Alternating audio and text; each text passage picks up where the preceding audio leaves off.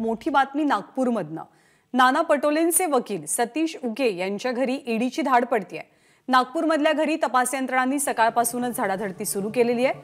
माजी मुख्यमंत्री देवेंद्र फडणवीस यांच्या विरोधात सतीश उके यांनी याचिका दाखल केलेली होती. सरिता कौशिक याची माहिती आपल्याला देतील. सरिता काय कारणास्तव ही धाड पडल्याचं सांगितलं जात आहे काय अपडेट्स मिळतात? खरं बघितलं तर सतीश उके यांचा एक संपूर्ण मोठा इतिहास आहे पब्लिक डोमेन मधला. बऱ्याच काळापासून म्हणजे देवेंद्र फडणवीस हे राज्याचे मुख्यमंत्री बनण्याच्या आधीपासून त्यांनी देवेंद्र फडणवीस यांच्या विरोधामध्ये तक्रारी आणि याचिका या केल्या होत्या.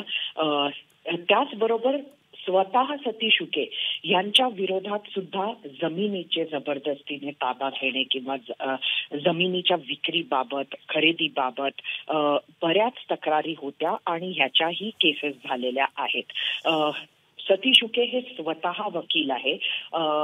या देवेंद्र फडणवीसांनंतर त्यांनी वेगवेगळ्या भाजपाच्या नेत्यांच्या विरोधात सुद्धा याचिका किंवा तक्रारी केलेल्या आहेत. सध्या ते नाना पटोलेंची नितीन गडकरी यांच्या विरोधातल्या केसचे सुद्धा वकील आहेत.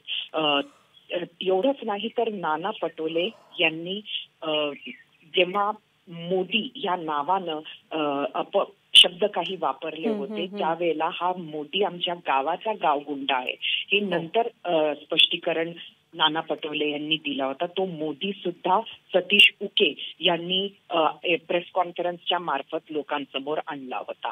त्यानंतर चंद्रशेखर बावनकुळे यांच्या एका भावानं त्यांच्यावर बरेच भ्रष्टाचाराचे आरोप केले. ती प्रेस कॉन्फरन्स. सुद्धा सतीश उके यांनी घेतलेली होती. मात्र. महत्त्वाचा भाग हा आहे की गेल्या काही काळापासून राजकीय लोक बाजूला ठेवून सतीश उके यांचा राग नागपूर पोलिसांवर सुद्धा होता. नागपूर सीपी अमितेश कुमार आणि त्याचबरोबर पोलिसांच्या विरोधात सुद्धा त्यांनी पत्र परिषद घेतली होती. त्यांच्यावर बरेच आरोप केले होते. त्यांच्याबद्दलही सतीश उके यांनी तक्रार केली होती. हो.